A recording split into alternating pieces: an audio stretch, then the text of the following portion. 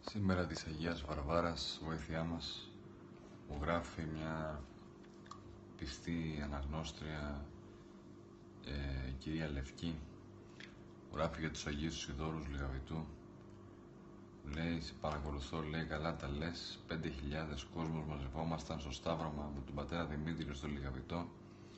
Είδαμε θαύματα πάνω το κεφάλι του πατρός Δημητρίου στο σύννεφο τη μέρα του Αγίου Πνεύματος είδαμε μια καρδιά λέει. Έχω υλικό. Τώρα είναι μόνος. Εμείς οι χιλιάδες κόσμος μήπως έπρεπε να ήμασταν κι εμείς έξω από την κλειστή πόρτα. Κι ας είναι αυτή κλειστή αυτό είναι ένα δείγμα της αγάπης που έχει ο κόσμος στον πατέρα Δημήτριο. Είναι συγκινητική και δεν γινόταν να μην το αναφέρουμε αυτό. Βοήθειά της ο Τίμιος Σταυρός να είναι καλά είναι κρίμα πρώτη φορά σε Αγίας Βαρβάρα σήμερα να μην ε, λειτουργεί ο ναός των Αγίων Συνδόρων ή τουλάχιστον όπως θα έπρεπε να λειτουργεί. Ελπίζουμε όλη αυτή η κατάσταση να φτιαχτεί σύντομα.